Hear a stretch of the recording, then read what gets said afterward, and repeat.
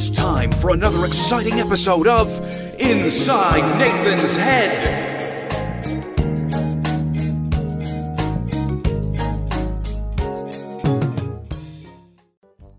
Brrr.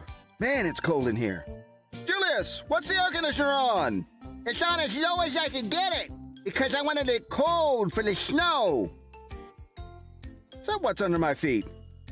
Snow! In the living room! Yes! I wanted it to be winter in June. I'm fixing to drag out the Christmas tree, too.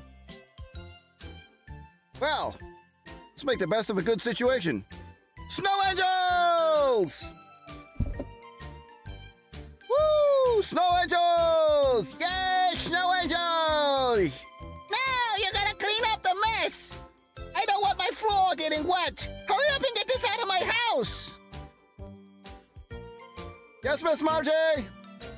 Time to clean up the mess.